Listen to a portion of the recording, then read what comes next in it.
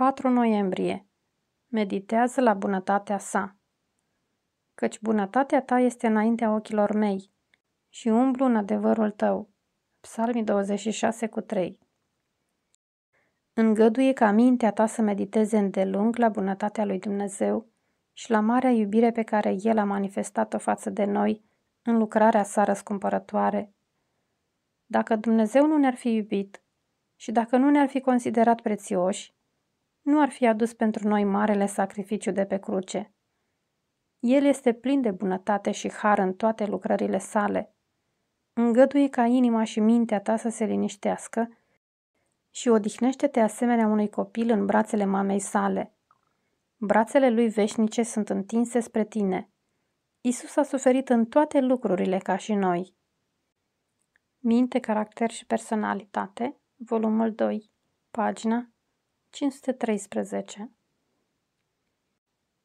Fiți milostivi!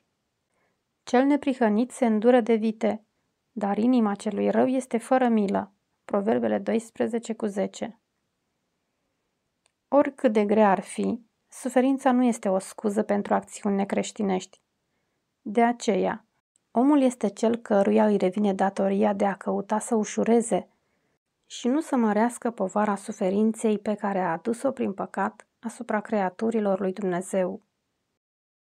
Plăcerea de a provoca durere altora, indiferent dacă este vorba de oameni sau de animale, este satanică.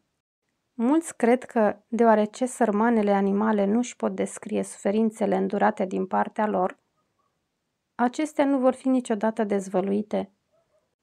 Dar dacă ochii lor s-ar deschide asemenea ochilor lui Balaam, ei ar vedea că îngerul lui Dumnezeu este prezent și va depune mărturie împotriva lor în curțile cerului. Raportul faptelor lor este trimis în cer. Și vine ziua în care se va pronunța o pedeapsă împotriva tuturor celor care se poartă brutal cu creaturile lui Dumnezeu. Minte, caracter și personalitate, volumul 2, pagina 513